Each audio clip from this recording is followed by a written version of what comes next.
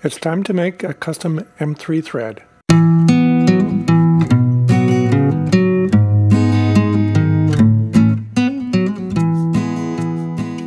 Here's the next version of the watch, and one thing that's different about this version is that instead of using screws to hold the back onto the case, we had I think six before, the back itself is threaded. So that means we need to create threads here and create threads there. This is 27 millimeters in diameter, so I have chosen to use a half millimeter pitch, which means this is 27 by 0.5. And in the previous episode, I showed the equations we can use to calculate the threads, given different tolerances, grades, etc. In this episode, what I want to do is to figure out what is a good set of grades and tolerances to have the right fit between the back and the case. To test the threads, I've created these test parts. And what I'm going to do is I'm going to mill these out of aluminum and try different thread combinations and figure out what's correct. I have a bunch of aluminum. Aluminum is a lot less expensive than stainless steel. This part here represents the back. This represents the front. There's no opening on the back right now because my goal is once I figure out the threads and then the O-ring between these two halves, the next thing I'm going to focus on is figuring out the right dimensions for gaskets so I get good watertight seal on this and so I can do depth testing. Now if we look at the back, the back presents an interesting challenge which I've taken care of with this undercut right here. The issue is that the thread mill has a 60 degree V shape and then there's a flat part here. And so there's a limit to how far down the thread mill can go before it would hit this section here. This undercut is meant to be about the same depth as the threads, and yet the idea here is that when we have the threads from the front, they will go all the way to this edge here. So if we did not have this undercut, it means that those threads would basically hit against the material and keep it from screwing all the way down. So that's why I added this undercut. So I made this undercut 0.533 millimeters tall. And the reason for making it that height is that's a little bit taller than the thread would be, uh, cutting it with the thread. And this thread mill is designed to cut uh, the full depth, so I figured that would be about right. Now, because of that, if we look here, the total distance that we have left is 0.667 millimeters. And so that means we're going to have slightly more than one thread on here, which isn't a lot. I've looked at other watch cases, and that seems to be about how it's done on other watch cases. Now, if we look at the front, uh, for the front, what we can do is rather than having a relief in here, we can simply have this cavity go farther down, and therefore we can thread far enough down so that the threads from the back can fully engage and there will be a little bit of thread left. My starting point to decide on what threads to use is this chart here. This is really about how much engagement you have of the threads. In this case is obviously short. I decided to start with something that was in the middle of the range. So I decided to start with uh, 6G for the external threads and then 6H for the internal threads. Here's a spreadsheet that I put together that used the, the equations that I derived from my previous video. And there's also a link below in the description to my blog post that has that information. There was one small error that I had in the previous video, which I have corrected in the blog post. So please check that out for the latest version. If I find anything else, I will update it there. So this is what we have for 6G and 6H. These are the numbers that I pulled from the corresponding tables in the Machinery's Handbook. And so these are the numbers that I will want to enter into Fusion 360 for the diameter of the boss. That will be the external threads on the back. And then this is going to be the diameter of the bore on the case.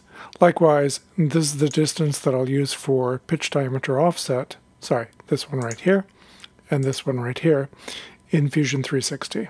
In the CAD, I've set this up so that everything is driven by a set of parameters. And so here I have external major, internal minor, external pitch diameter offset, and internal pitch diameter offset. Uh, and this, by the way, is how I calculated the external relief depth, which is this distance right there. So going back to that, the relief depth is half of the pitch diameter offset, which makes sense because the pitch diameter offset is the diameter and this is radius, which is how far we want to go on. And then I also went in an extra two thousandths of an inch just to be a little bit safe, so that there wouldn't be any chance of binding of the threads. One of the things that I mentioned in the previous video is that sometimes end mills don't go to a sharp point, but in my case I was assuming it, it did. Now here's a photo of the actual thread mill, and you can see that it does go to a point. Now I've found that using the thread mills that are in Fusion 360 doesn't produce as accurate results in the simulation as I would like, for some reason, this distance here is usually larger with the thread mills that are in Fusion 360, so it tends to say that it's running into the material when it really isn't. So what I did is I created my own form tool, and so this is based on some sketches, and you can see it has the shape and the dimensions, etc. These are all driven by some parameters, as you can see here. And to turn that into a form tool, you have to go to the manufacturer space and then you can say form mill, select the profile, the axis of rotation, which is right there, and then the compensation point, which is right there. And then when you do that, it doesn't look like it did anything, but it actually did. If we go to the tool library and go to the tools for this document, it just created this tool right here. Now, I already had a tool created, which is the one that I used in the simulations, so I can go ahead and delete this because this was just the one I created for demonstration purposes. The next thing I want to do is actually simulate it. So if I go here and click on simulate, I want to move this fairly far to the right because that gives me better results. And then I found that if I colorize by operations, as you'll see, it produces an output that uh, is pretty smooth and it's a lot easier to see what's going on. So here's the crest that is what we would expect because we haven't cut to the full depth. There's no crest at the bottom because, again, it's a sharp tool. But the thing to notice about this is that there's really just barely more than one thread. So here you can see we have a full thread and a, right there, and then we have a partial thread there. And so there's not a lot holding it on, but as I mentioned earlier, I've seen other watches do this with this small number of threads, and it seems to work fine. This is looking at this simulation of the internal threads, and I set up a cross section because it's easier to see what's going on that way. But you can see we have a larger crest here, which is exactly what we would expect for the internal threads. The internal threads have a larger crest, percentage of the crest, than the external threads. I think this is the first time using my Renishaw probe to pick up the X and Y axis, and it's pretty nice. The first operation is a roughing operation. This is for the simulated back, and so it's basically cutting out the boss that will become the screw-on part of the, the back. And you can see here, it's now taking shape as the round back. It has to cut it in two passes. I'm being not at all aggressive in terms of the cutting. I prefer to be fairly light on the cuts rather than be aggressive with this machine. Running this operation was a little tense here because this slotting cutter gets right down to the surface and then cuts all the way in with the first pass, but it worked just fine. And then it's time for the M3 thread mill. And again, this goes down very close to the surface of the material. So there isn't a lot of clearance, but as they say, clearance is clearance and so this worked just fine. I set it up to do three passes. Here it's actually doing the third pass now, and this is where it's cutting the, the most material. The first two passes were fairly light.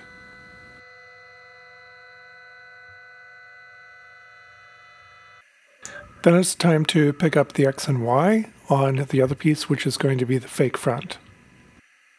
The first step is to deck off the top. I didn't show this in the previous operation because I'd forgot to turn on the air blade on my camera, so it was being covered in coolant.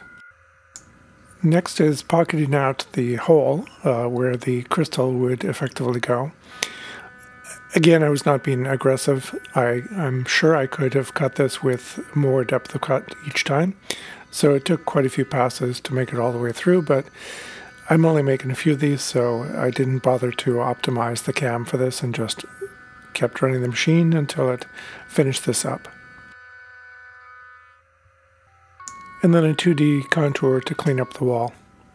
And then milling the circular outside for the fake case. This doesn't really provide any value, but I decided to do it because it would allow me to see better what the gap looked like. And then thread milling the fake case. This has to go around a few more times because the thread goes down farther than it did on the back. On the back it could only go down 1.2 millimeters. Here we can go down farther. And then when I'm all done, I use the washdown hose to wash the most of the chips away before using air to clear the coolant off just the part before I take the part out of the vise. And so let's see how it fits.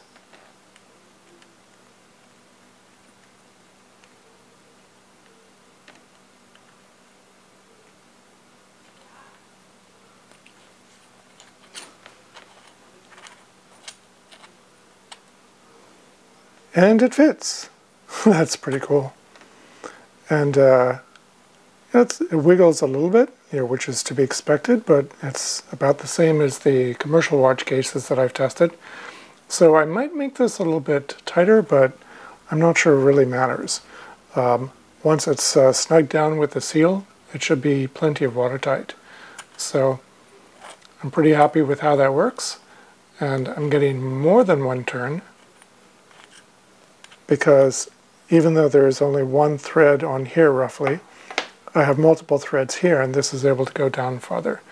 So that was a, a nice discovery. Now one of the things you notice there is that that was a little bit loose so I decided to make it tighter and therefore I decided to use this column here. In this column the smaller numbers mean it's a tighter fit. Also H means tighter fit than G. So for the external threads I decided to use the smallest one here which is right there, 3H and 6H. And then for the internal threads, I decided to go with 5H. I wasn't sure how tight that would be, so I didn't want to overdo it, and that's why I chose 5H. So before we used a tolerance and grade, etc., that was just a single letter and number, like this, 5H. But as you saw previously, I decided to use 3H, 6H. Now when there are two sets like this, you're referring to these two different uh, tolerance values separately. So basically, we're saying for TD2, we want to have tighter tolerance than for TD. And so I, I created this uh, little chart in the spreadsheet so that I could remind myself when I see 3H, it means that's for TD2, and when I see 6H, that's for TD. And so then I looked those values up in the Machinist Handbook, and these are the results here. And then I pasted those into Fusion 360 generated the toolpaths, and then created another set of test pieces. Here are the two versions that I made. On the left is the first version, and on the right the version that's tighter. It's a little hard to tell probably from the, the camera, but I can definitely feel the amount of wiggle on this, and then if I go to this one here, it's a lot less wiggle. It's definitely not too tight, so I could probably go even tighter on this, but what I'm going to do next is if I open this up, I'll show you. The next thing I need to do is put a groove either on this side or on this side. Oops, sorry about that. Either this side or on this side for an O-ring. And the O-ring will provide the watertight seal, seal between the two halves, between the back, sorry, the back and the case. Once I have that seal working, then the next thing I'm going to do, if I put this back together again, is work on the, the front. And what I'm going to be doing here is testing the different sizes for the gaskets to figure out what's the right tolerance for the gasket so that I get the, I believe it's a 100 meter rating on this. And 100 meters doesn't mean it can go to that full depth, which I covered in a previous video. Anyway, I'm quite pleased with how this uh, turned out. And as I say, the next thing is the O-ring and then the gasket, and at some point I'll switch to stainless steel for these tests. Once I've done those two, we'll be ready to make the next prototypes of the watch. Thanks for watching. Give me a thumbs up, comment below, please subscribe, and I'll see you next time.